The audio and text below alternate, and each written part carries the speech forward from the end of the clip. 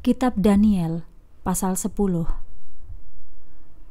Penglihatan Daniel di tepi sungai Tigris Pada tahun ketiga Kores sebagai raja di Persia, hal ini diperlihatkan kepada Daniel.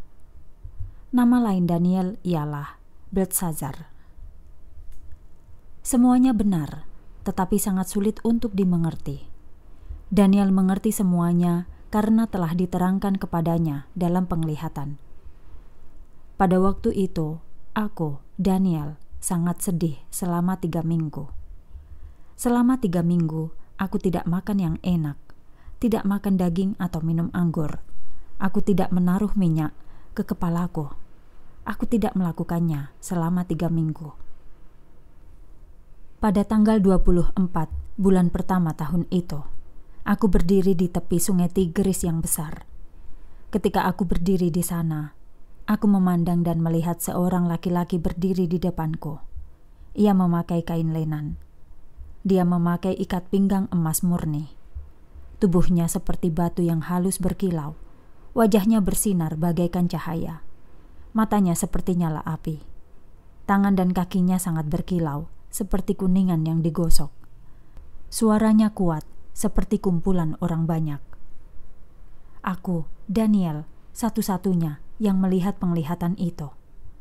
Orang yang bersamaku tidak melihatnya, tetapi mereka masih ketakutan. Mereka sangat takut, sehingga mereka lari dan menghilang. Jadi, aku tinggal sendirian.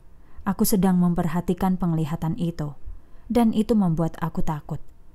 Aku kehilangan kekuatanku. Mukaku menjadi pucat seperti muka orang mati, dan aku tidak berdaya. Kemudian aku mendengar orang yang dalam penglihatan itu berbicara.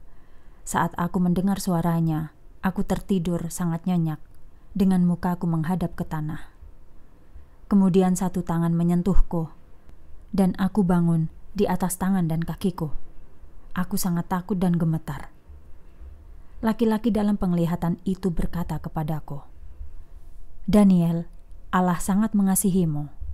Pikirkanlah dengan hati-hati perkataan yang kusampaikan kepadamu. Berdirilah, aku diutus kepadamu. Ketika ia mengatakan itu, aku berdiri. Aku masih gemetar karena ketakutan. Kemudian laki-laki dalam penglihatan itu mulai berbicara lagi. Ia berkata, "Daniel, jangan takut dari pertama kali engkau telah memutuskan untuk memiliki hikmat dan menjadi rendah hati di hadapan Allah. Ia telah mendengar doamu. Aku datang kepadamu karena engkau telah berdoa. Tetapi pangeran, malaikat dari Persia, telah berperang melawan aku selama 21 hari. Kemudian Mikhael, satu dari para pangeran yang paling penting, datang menolongku, karena aku telah ditikam oleh Raja Persia. Sekarang aku datang kepadamu Daniel untuk menjelaskan kepadamu yang akan terjadi kepada umatmu di masa yang akan datang. Penglihatan itu ialah tentang waktu yang akan datang. Ketika laki-laki itu berbicara kepadaku, aku berlutut dengan wajah menghadap ke tanah. Aku tidak dapat berbicara. Kemudian seorang yang kelihatan seperti anak manusia menyentuh bibirku. Aku membuka mulutku dan mulai berbicara. Aku berkata kepada orang yang berdiri di hadapanku, "Tuhan, aku bingung dan takut karena yang kulihat dalam penglihatan itu.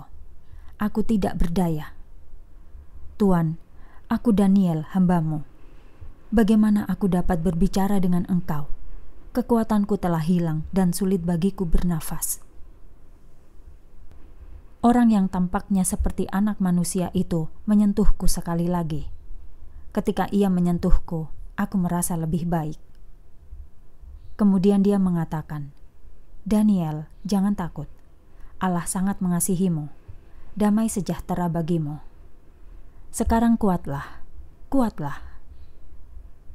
Ketika ia berbicara kepadaku, aku menjadi semakin kuat.